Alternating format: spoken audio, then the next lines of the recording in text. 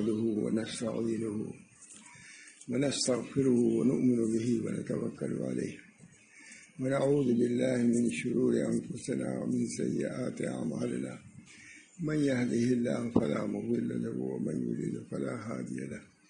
ونشهد أن لا إله إلا الله وحده لا شريك له. ونشهد أن سيدنا ونبينا ومولانا محمدا عبده ورسوله. صلى الله تعالى عليه وعلى آله وأصحابه وأزواجه وذرياته وسلم تسليما كثيرا كثيرا. أما بعد. قال النبي صلى الله عليه وسلم اعبدوا الرحمن وأطعموا الطعام وأفشوا السلام تدخلوا الجنة بسلام اور کما قال شراط وسلام دوستوں بزرگوں عزیزوں میں یہ سعادت سمجھتا ہوں کہ اپنے شیخ مرشد ثانی کی دیار میں آیا ہوا ہوں۔ ان کو بہت سے دیکھنے والے بھی یہاں موجود ہوں گے۔ اس بنا پر میں یہ سمجھتا ہوں۔ میں میں خود اپنے وطن میں آ گیا ہوں اور اپنے احباب کے ساتھ بیٹھا ہوا ہوں۔ اس سے پہلے حضرت مولانا سید علی صاحب کا ذکر آیا۔ ان سے بھی ہم آشنا ہی نہیں بلکہ بہت زیادہ واقف۔ اخیر سفر اعظم گڑھ کا ہمارے گھر کے لیے ہوا کئی دن تک وہاں قیام رہے رہا حضرت مولانا رام صاحب تشریف لے بھی گئے دیکھنے کے لیے۔ بہرحال مختلف جہت سے الحمدللہ آج میں ایک تائی اور ایک محسوس کرتا ہوں۔ ہمارے حضرت بادشاہ صلی اللہ صاحب رحمۃ اللہ علیہ بھی اخلاق کے متعلق بہت بیان فرماتے تھے۔ جانتا بہت یہ مقولہ نقل کرتے تھے، حضرت حاجی امداد اللہ صاحب کا، جس کے اخلاق درست نہیں ہوتے، اس کے لیے نسبت مع اللہ کا حصول مشکل ہے۔ اخلاق کی درستگی ہی پر اللہ کی نسبت حاصل ہوتی ہے۔ مخلوق کا اتنا درجہ ہے، کیونکہ الخلق و عیال اللہ۔ جب کسی کے اہل و عیال کے ساتھ اچھا معاملہ آدمی کرتا ہے، تو باپ خوش ہوتا ہے۔ تو جو اللہ تعالیٰ کے بندوں کے ساتھ ہمارا معاملہ درست ہوگا تو اللہ خوش ہوگا۔ بہت سناتے تھے اس واقعے کو، حضرت حاجی امداد اللہ صاحب کے اس قول کو۔ جس کے اخلاق نہیں، درست نہیں ہوتے، اس کے اندر نسبت اللہ کی صلاحیت ہی نہیں ہوتی۔ اس بنا پر زندگی بھر اخلاق کے متعلق بیان فرماتے رہے۔ ہمارے حضرت شاہ محمد احمد صاحب سراپا اخلاق تھے۔ ایک عالم آئے عالم کا آپ سب جانتے ہی ہوں گے۔ حضرت مولانا عبدالغنی صاحب کو پوری رحمت اللہ علیہ۔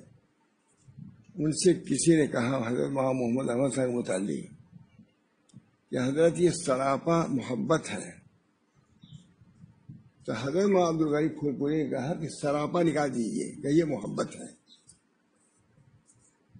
میں نے حضرت کو بھی دیکھا، سراپا محمد۔ حضرت ماں محمد احمد صاحب کو بھی سراپا محبت پایا۔ فرماتے تھے کہ شیخ کو بھی محبت میں مریدوں کا شیخ ہونا چاہیے۔ مطلب مریدین سے تو محبت کا مطالبہ کرتے ہیں، لیکن شیخ خود مکلف ہے۔ کہ ان سے زیادہ محبت ان کے ساتھ رکھے بغیر اس کے تعلیم و تربیت کا سلسلہ جاری نہیں ہو سکتا۔ اللہ تعالیٰ نے اپنے فضل و کرم سے حال تک ایسے مشاعر ہم میں رکھے جو صحیح تعلیم بھی دیتے تھے، صحیح تربیت بھی فرماتے تھے۔ اب ماننا، نہ ماننا، یہ ہمارا کام۔ ابھی آپ نے سنا نبی اکرم صلی اللہ علیہ وسلم کی جو نعت کے سلسلے میں حضرت ماں محمد احمد صاحب نے کیسی کیسی تعلیمات فرمائی ہیں؟ پوری تعلیمات نبی صلی اللہ علیہ وسلم کی اس کے اندر بھی موجود ہے اللہ تعالی ہم سب لوگوں کو اپنے مشائق کے طریق پر چلنے کی، ان کے طریق کو زندہ رکھنے کی توفیق مرحمت فرمائے۔ دوستوں بزرگوں یہ کہنا تو آسان ہے کہ ہمارا فلاں سے تعلق ہے، لیکن ان کے کیا اخلاق تھے، کیا معاملات تھے میں تو رہا ہوں۔ ماں شاہ اللہ صاحب کی زندگی ختم ہوئی اور پھر ان کے یہاں تو سمجھیے تیس چالیس سال تک رہا۔ میری شادی سن پچاس میں ہوئی۔ سن سڑسٹھ تک حضرت ماں شاہ اللہ صاحب کے ساتھ سب روز۔ پھر اس کے بعد بلکہ انہی کے زمانے ہی سے حضرت ماں شاہ محمد احمد سے تعلق تھا میرا۔ اور حضرت کو معلوم تھا کہ ان کا تعلق ہے۔ بمبئی تھے حضرت۔ حضرت شاہ وسی اللہ صاحب کو ماں محمد احمد صاحب نے خط لکھا اور اسی کے ساتھ میرے نام بھی لکھا تو ماں شاہ وسی اللہ صاحب بڑے جلالی آدمی معلوم ہے آپ لوگوں کو۔ جب بڑے اس سے محبت سے کہا کہ اجی مولانا محمد احمد صاحب تمہارے نام بھی خط لکھا دے دیا یہ باہم محبت۔ حضرت ماں شاہ وسی اللہ صاحب سے میں نے خود سنا کہ ایسے بزرگان پہلے ہوا کرتے تھے۔ حضرت ماں محمد احمد صاحب کے متعلق کہا، پہلے ہوا کرتے تھے۔ اس بنا پر دونوں میں بڑا توافق تھا، تطابق تھا۔ ہمیشہ مجلس میں تشریف لا دیتا ماں محمد ہمیشہ۔ اللہ تعالیٰ نے دونوں میں بہت تحابب تناسب، ہر طرح کا ربط تھا۔ اللہ تعالیٰ نے اس حقیر کو دونوں کی صحبت سے مشرف فرمایا، دعا کیجیے ان کے اخلاق، ان کے معاملات ان کی باتیں کیفیات اور جذبات سے میرے قلب کو مرسہ کر دے متقیف فرما دے۔ اور آپ حضرات کے لیے بھی یہی دعا کرتا ہوں کہ بزرگان دین وہ متبرک نہیں ہوتے، بہت ہی فرماتے تھے۔ تبرک ان کے تعلیمات ہوتی ہیں۔ اس وجہ سے مشائق کے تعلیمات کو لینا، یہ عصر کا نامہ ہے اور عصر ان کی خدمت ہے۔ اور سے محبت ہے۔ اللہ ہم سب کو اس کی توفیق دے۔ میں دوستوں بزرگوں اس وقت ایک حدیث ذہن میں آئی، جس کی میں نے تلاوت کیا ہے۔ اس میں بھی نبی اکرم صلی اللہ علیہ وسلم نے پورا دین بیان فرما دیا ہے۔ یوں تو سلاسیات حدیثیں معلوم ہے بعض حدیثیں تین یوز کی ہوتی ہیں۔ وہ ایک حدیث بھی کافی ہے۔ اس میں تو خیر چار حدیثیں ہیں۔ چار باتیں ہیں، چار تعلیمات ہیں۔ پہلی حدیث، پہلی بات تعلیم۔ او مد الرحمان کیا؟ رحمان کی بات کرو۔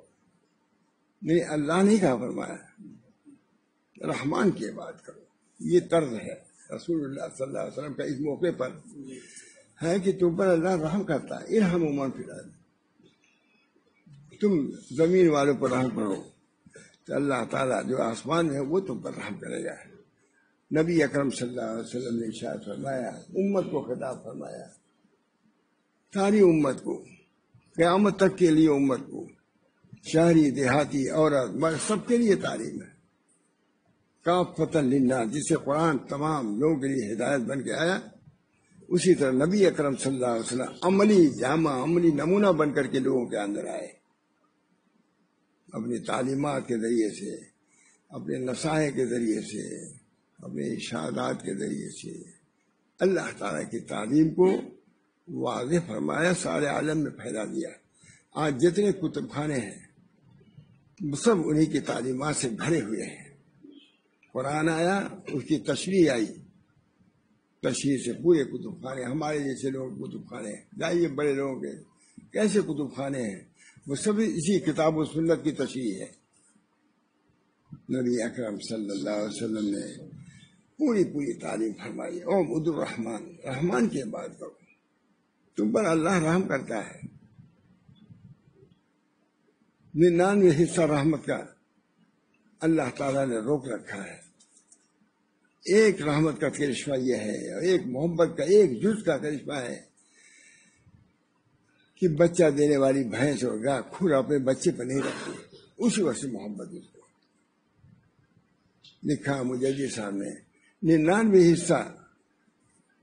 رکھ چھوڑا اللہ تعالیٰ نے اپنے پاس تاکہ امت محمدیہ کو کام آئے۔ امت المجرمت رب الغفور۔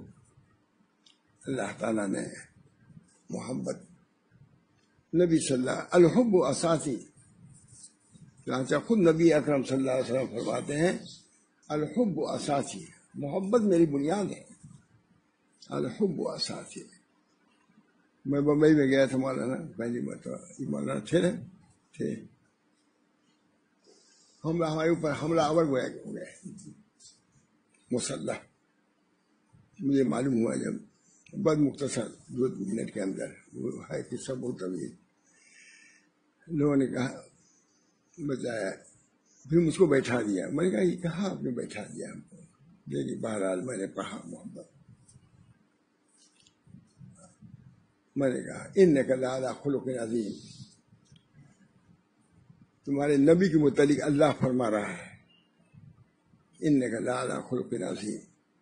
آپ خلق عظیم پر ہیں۔ خود نبی کہتا ہے، وہ اس لیے تم مکالم الاخلاق۔ نبی کہہ رہا ہے اس الحب و اساسی۔ محبت میری بنیاد ہے۔ اس وجہ سے جب محبت حضور اقدس صلی اللہ علیہ وسلم کی بنیاد ہے، تو ہم میں ہر شخص جو امتی ہونے کا دعویٰ کرتا ہے، اس کی بنیاد محبت ہی پہ ہونا چاہیے۔ بوز پر، عداوت پر کینے پر نہیں ہونا چاہیے۔ نبی اکرم صلی اللہ علیہ وسلم فرماتے ہیں، یا بنیا اے میرے لڑکے اگر تم سے ہو سکے کہ صبح کرو اس حال میں کہ کسی کی طرف سے کینا نہ ہو تو کرو ایسا ایسی کسی تعلیم یا بنیا اگر ہو سکے کہ شام کرو اس حال میں کہ کسی کی طرف سے کینا نہ ہو تو کرو ایسا لال کا سنت، یہ میری سنت ہے۔ جو میری سنت کو پکڑے گا میرے ساتھ جنت میں جائے گا۔ معمولی تعلیم ہے۔ معمولی تعلیم ہے۔ میرے دوستو حضرت ابن عباس سے کہا وسطین باللہ اللہ سے مدد طلب کرو۔ مخلوق سے نہیں، اللہ سے مدد طلب کرو۔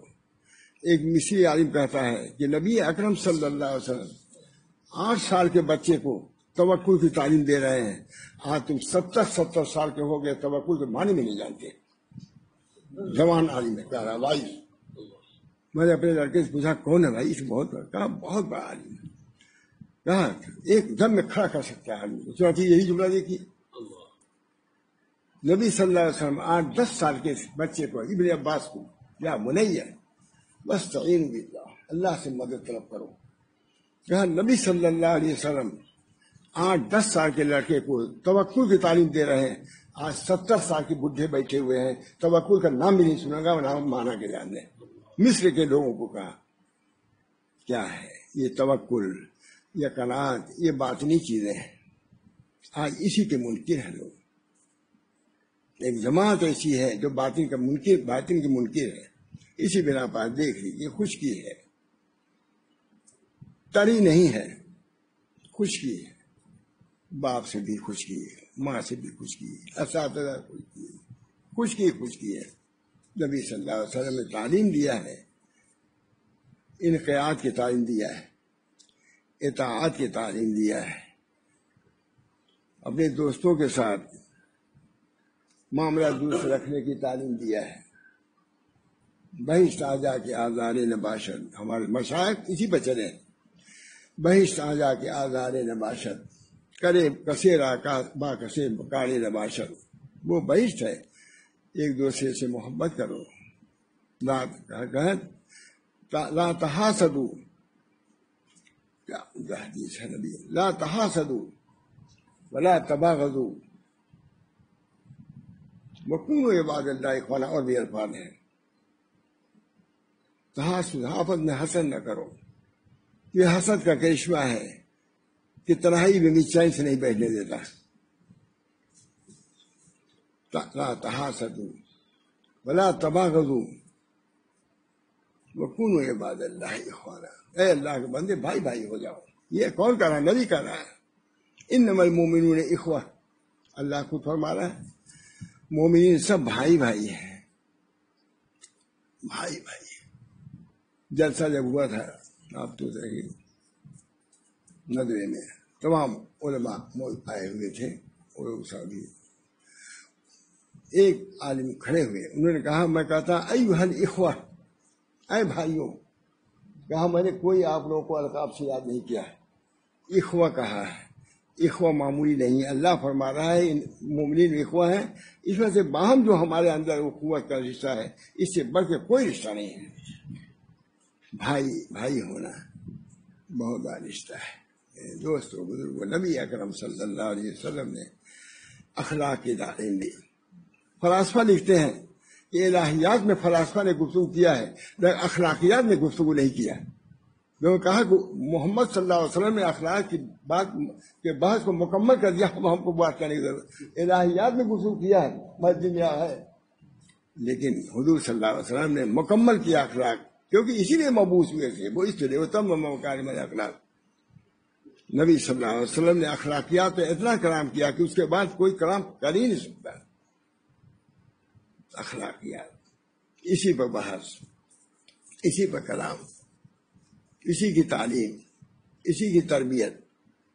حضرت عائشہ رضی اللہ تعالیٰ عنہ نے اپنی سوکن سے کہا دیا، وہ ٹھنگنی ہے ہے کہ نہیں؟ بہت مشہور روایت۔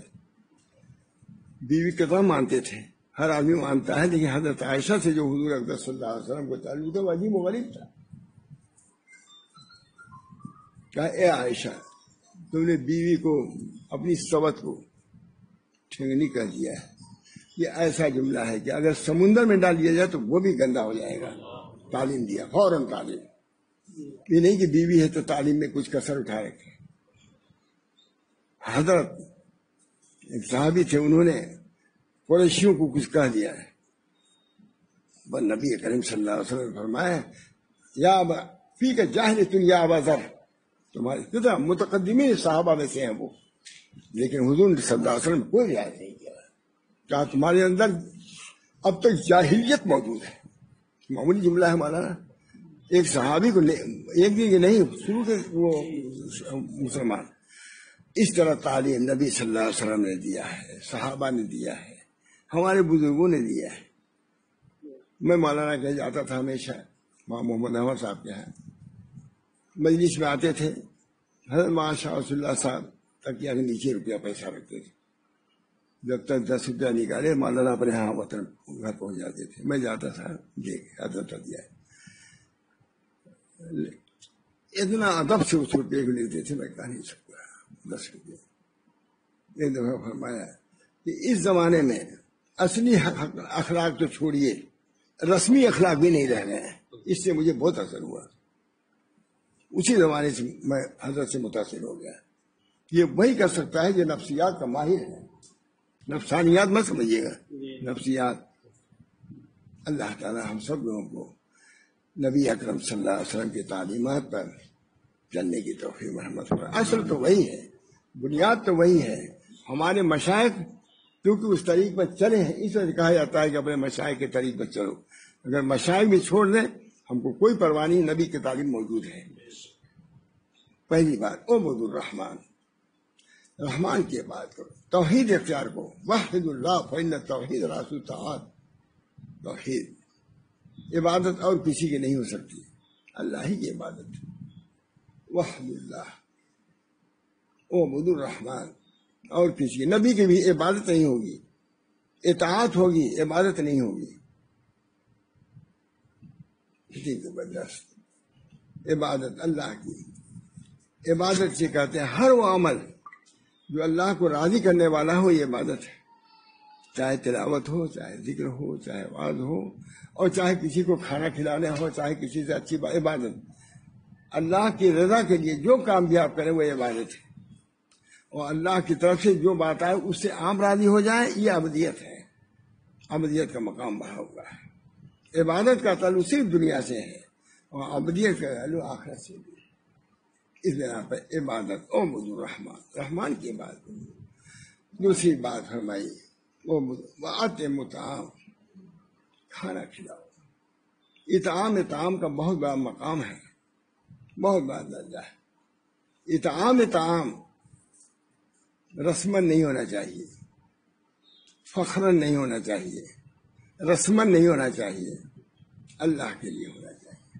تالیس و قلوب اخوان اپنے بھائیوں کے قلوب کو مانوس کرنے کے لیے دعوت کرو۔ آپس میں کھانا پینا بیٹھ کے ہوتا، مانوس ہوتا ہی نہیں۔ وہ قلوب المومنین اور مومنین کے قلوب کو خوش کرنے کے لیے دعوت کرو۔ اپنے اپنے دل کو خوش کرنے کے لیے نہیں، بلکہ اپنے نفس کو خوش کرنے کے لیے نہیں۔ اس کے کھانے کا انتظام کرو۔ کیسے وہ کھاتا ہے؟ کیا کھاتا ہے؟ کیا پیتا ہے؟ اس کا انتظام کرو۔ یہ نہیں کہ کھڑے کھڑے دے دیا، چل کھاؤ پیٹ بھرے نہ بھرے، نہ جاؤ گھر۔ یہ دعوت کیا جائے تم نے عداوت کیا اس کے ساتھ؟ تانیس و قلوب المومنین مومنین کے قلوب کو مانوس کرو، اس کے لیے دعوت کرو تاکہ تم سے لوگ مانوس قریب ہو جائیں۔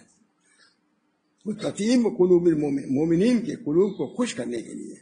اور تیسری چیز یہ ہے وہ تسن نبی سنت نبی صلی اللہ علیہ وسلم اطعام تعام اطعام تعام میں حضور کی سنت کی رعایت کرو۔ یہ سوچو کہ نبی صلی اللہ علیہ وسلم کھانا کھلاتے تھے۔ اس وجہ سے ہم کھلا رہے ہیں تو یہ کھانا کھلانے کا ثواب الگ اور اس نیت کا ثواب الگ۔ اس بنا پر نبی صلی اللہ علیہ وسلم فرمایا، او بدو الرحمان وہ اطم تعام وہ افش یہ بھی نہیں کر سکتے سلامی کر لیا کرو۔ سلام کرنا آج اس میں بھی کمی ہے خوا سے بھی کمی ہے۔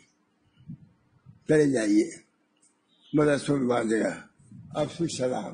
سلام کا جواب تو بعد نہیں تجربہ حج میں جاتے ہیں۔ بس ہوتا ہے ٹوپو کی دیے۔ ادھر کر جاتا ہے۔ سلام۔ سے حضرت عبداللہ بن مسعود بازار جاتے تھے۔ اور کچھ خریدتے نہیں تھے۔ تو جو ان کے ساتھی تھے، کہتے تھے کہ حضرت آپ بازار جاتے ہیں۔ کچھ خریدتے نہیں اسی گھما چلے جاتے ہیں۔ اے بتین اے تون والے بات بھی نہیں سمجھتا۔ میں اس لیے بازار جاتا ہوں تاکہ سلام کرنے کا موقع مل جائے۔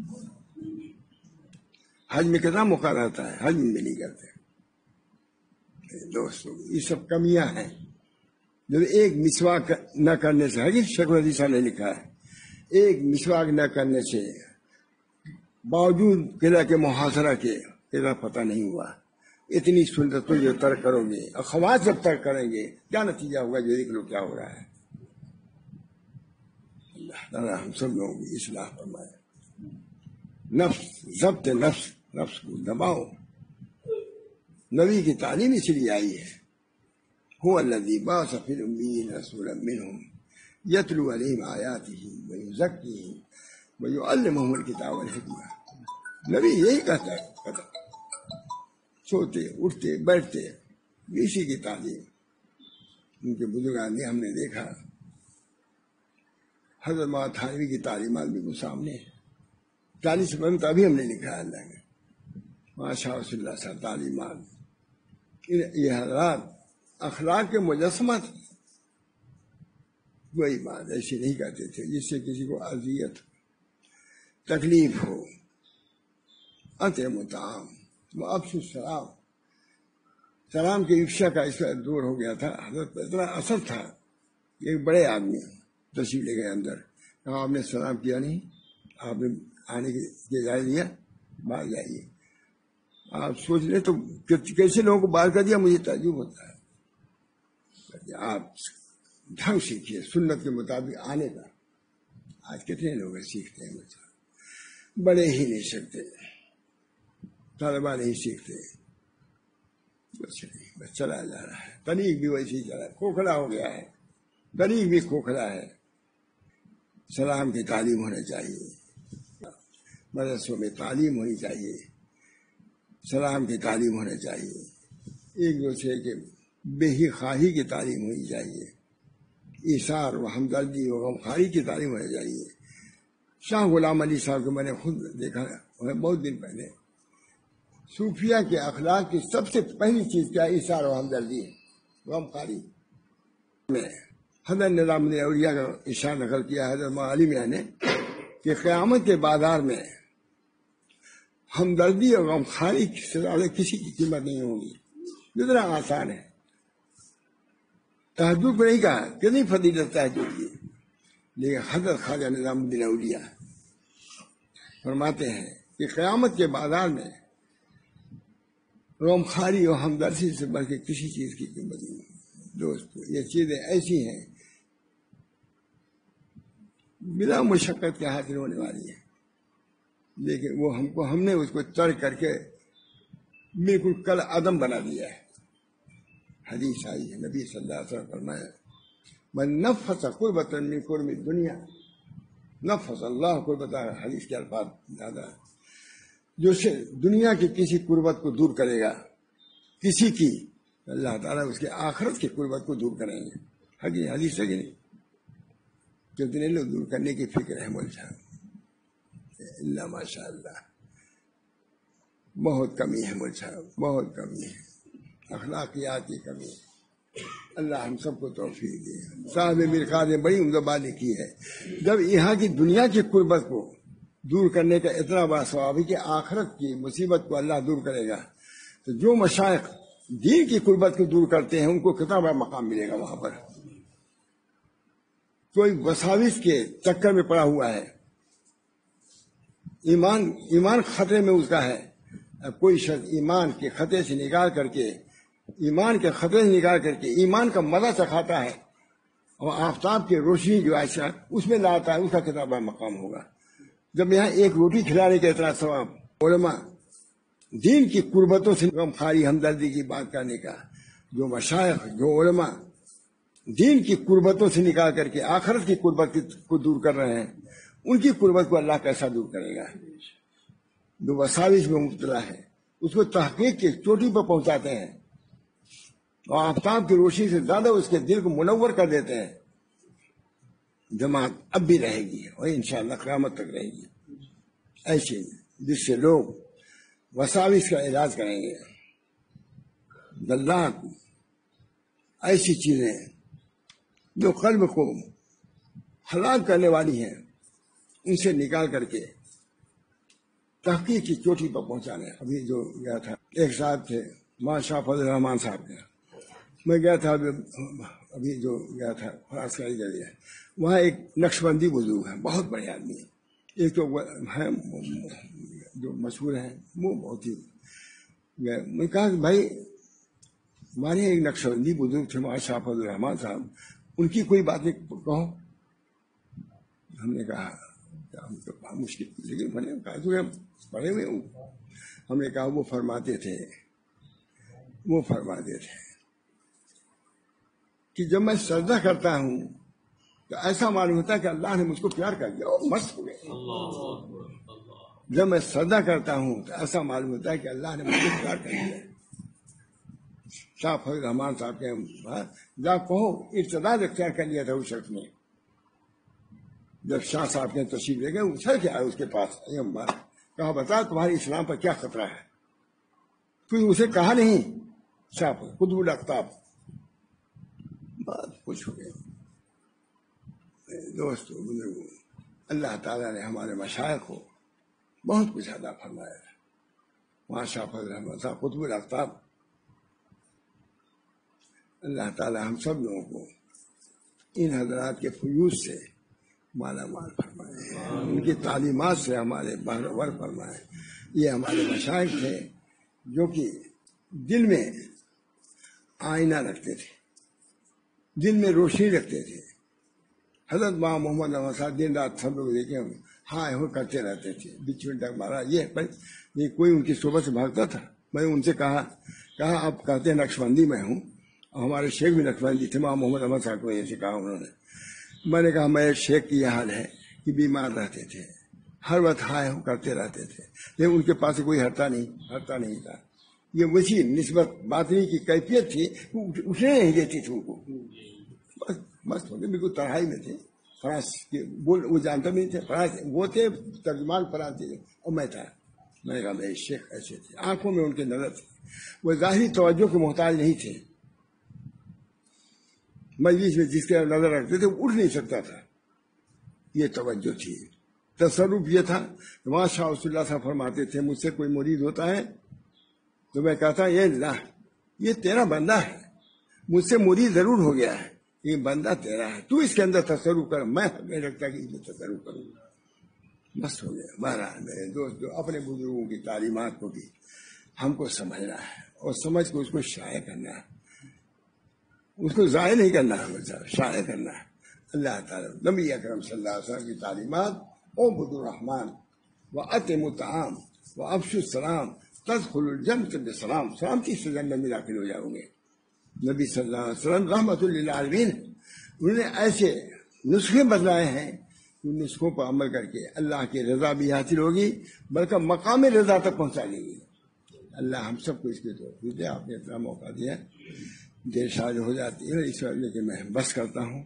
اللہ تعالیٰ مجھے بھی نبی اکرم صلی اللہ علیہ وسلم کی سنتوں پر جو اخلاقیات سے متعلق ہے جو معاشرت سے متعلق ہے ان پر بھی عمل کرنے کی توفیق دے، نماز، روزے کی، تلاوت کی، ذکر کی، تو توفیق ہونی چاہیے۔ یہ بھی سوچیں کہ اخلاقیات کی اصلاح کے لیے اردو صلی اللہ علیہ وسلم تصویر ہم کو اس سے حصہ ملنا چاہیے۔ اور ہمارے مشاہد سراپا اخلاق تھے سراپا محبت تھے، دن رات اس کی تعلیم دیا کرتے تھے۔ ہمارے اس نسبت کا حق ہے کہ ہم ان کی تعلیمات کو اپنائیں اور اپنے لوگوں میں اس کو جاری کریں۔ یہ ضروری نہیں کوئی خلافت ملی ہو، کسی کو تبھی نہیں۔ ہر مرید اپنے شیخ کا ترجمان ہونا چاہیے۔ ظاہری طور سے بھی اور باقی طور سے، علمی اعتبار سے، عملی اعتبار سے، اخلاقی اعتبار سے۔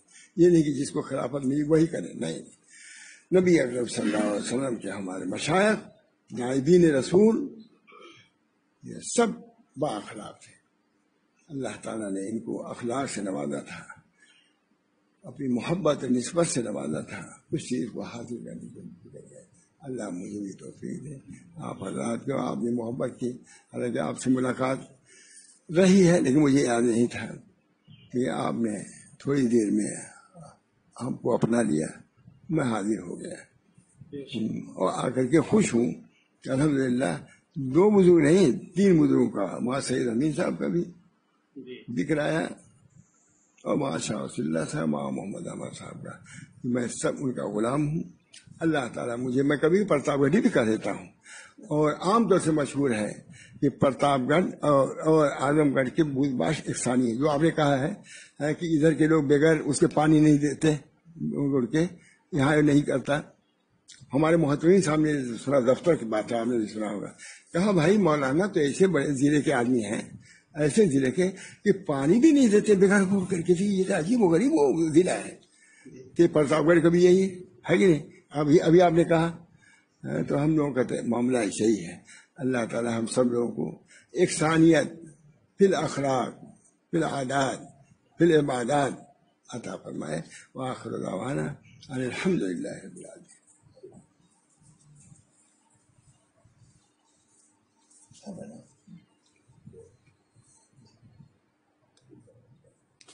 خواتین کو توبے کے کلمہ رسی کی چل کے وہاں پہ پہنچے گئے کلوان میں میں انہیں کا سیوا استعمال کروں۔ حضرت توبے کے کلمات کہلوائیں گے۔ جو بہنیں اور بیٹیاں پہلے کسی بزرگ سے بیٹھ ہیں ان کو بھی توبے کے کلمات کہنے ہیں اور جو نہیں بیٹھ ہیں ان کو بھی کہنے ہیں۔ بس فرق یہ ہے کہ جو پہلے سے بیٹھ ہیں وہ بیٹھ کی نیت نہ کریں اور جو بیٹھ نہیں ہے وہ بیٹھ کی نیت کر لیں۔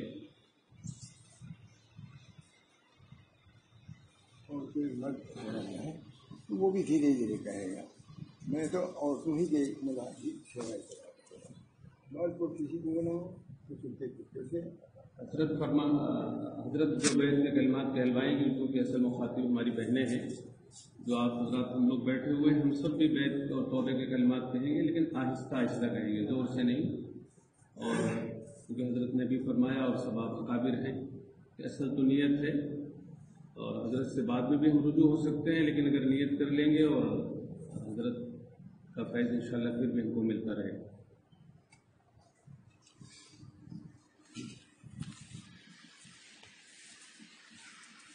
بائیں کا مقصد یہ ہوتا ہے جو کوتاہی ہے، وہ دور ہو جائے۔ اصل مقصد یہ ہوتا ہے۔ نماز روزے میں اگر کوتاہی ہو رہی ہے، تلاوت بھی کوتاہی کوشش کیا جائے کہ مستقل ان کو پابندی کے ساتھ ادا کیا جائے اور تصور کر لیا جائے کہ ہم لوگ فلاں بزرگ سے بیت ہیں فلاں سلسلے سے بیت ہیں اس سلسلے کے لاج رکھنے کے لیے نماز کی بھی پابندی، تلاوت کی پابندی، کلسی کے دور شریف کی پابندی کرتے رہنا چاہیے۔ اور میں خطبہ پڑھوں گا، جو الفاظ میں کہوں، آپ کہتے جائیے۔ اور دل میں نیت رکھیے کہ انشاءاللہ اس پر عمل کروں گی الحمد لله نحمده ونستعينه ونستغفره ونؤمن به ونتوكل عليه ونعوذ بالله من شرور أنفسنا ومن سيئات أعمالنا من يهده الله فلا مضل له ومن يضلل فلا هادي له۔ ونشهد أن لا إله إلا الله وحده لا شريك له۔ ونشهد أن سيدنا ونبينا مولانا محمدا عبده ورسوله صلى الله تعالى عليه وعلى آله وصحبه وسلم. أما بعد أعوذ بالله من الشيطان الرجيم. بسم الله الرحمن الرحيم. إن الذين يبايعونك إنما يبايعون الله. يد الله فوق أيديهم فمن نكث فإنما ينكث على نفسه. ومن أوفى بما عاهد عليه الله فسيؤتيه أجرا عظيما. يا أيها الذين آمنوا اتقوا الله وابتغوا إليه الوسيلة وجاهدوا في سبيله لعلكم تفلحون. يا أيها الذين آمنوا اتقوا الله وكونوا مع الصادقين. صدق الله العظيم. اب کہیے جو میں کہتا ہوں. توبہ کی میں نے توبہ کی میں نے کفر سے، شرک سے، تمام بدعات سے اور تمام گناہوں سے وعدہ کرتی ہوں. پانچوں وقت کی نماز پڑھوں گی، رمضان کے روزے رکھوں گی نصاب ہوگا تو زکوٰۃ دوں گی، استطاعت ہوگی تو حج کروں گی۔ اپنے تمام اعمال کی اور اخلاق کی، شریعت کے مطابق اصلاح کروں گی۔ اگر کوئی غلطی ہو جائے گی، فوراً توبہ کروں گی۔ باعث کی میں نے، چاروں سلسلے میں۔ چشتیہ نقش بندیہ قادریہ سہر بردیہ یا اللہ، ان چاروں سلسلوں کے بزرگوں کی خیر و برکت عطا فرما۔ اور قیامت میں انہی بزرگوں کے ساتھ ہمارا حشر فرما۔ بیت کے کلمات ختم ہوئے۔ پھر معمولی سے ایک وظیفہ ہے۔ اس کو پڑھتی رہیں تلاوت کر لیا کریں۔ سو مرتبہ کلم طیبہ پڑھ لیا کریں۔ سو مرتبہ ضرور شریف پڑھ لیا کریں۔ چھوٹے سے چھوٹا جو یاد ہو، اور سو مرتبہ استغفار پڑھ لیا کریں۔ غیبت سے شکایت سے ان چیزوں سے جو اخلاقیات مجھے بیان کیا ہے حد تک ایسا کوشش کریں کہ اس پر عمل کریں اور دعا بھی ہم سب کے لیے آپ بھی کریں کہ ہم سب کو اس پر عمل کی توفیق دوں وآخر دعوانا ان الحمد للہ رب العالمین۔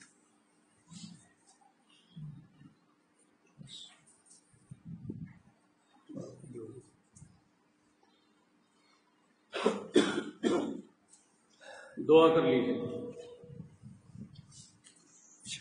ضرور شریف اللهم صل على سيدنا النبي وعلى آله وأصحابه وأزواجه وذرياته وسلم تسليما كثيرا كثيرا.